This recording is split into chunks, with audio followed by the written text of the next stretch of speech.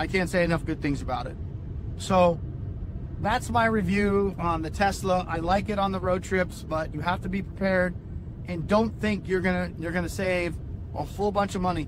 And I'm talking about I'm talking about a, a, a Cadillac XTS that's only getting 23, 25 miles a gallon. If you've got a, a hybrid sedan or something, if you have a vehicle that gets 35 or 40 miles a gallon, you're not really saving any money at all on a road trip. Like, not at all. Like a Prius, a Prius, not that you could compare a Prius because it's a lot smaller, but if you're driving a Prius, you would save more money than me on a Y, on a road trip. Because you're getting 50 miles a gallon, and that's a 350 mile trip, right? So we're talking, if you're getting 50 miles a gallon, what is that, seven? This, what is he, 350 miles? Yeah. So let's just round up and say eight gallons of gas in case there's a headwind or something.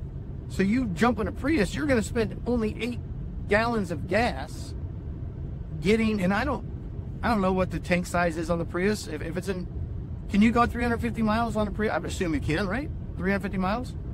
So eight gallons of gas, you got to figure in California, gas is like a little over four bucks. But even if you factor in four dollars a gallon, you're only looking at 32 bucks to take a Prius over there, somewhere around there. And then you go, wait a minute. So I got to hit the first supercharger, stop, Prius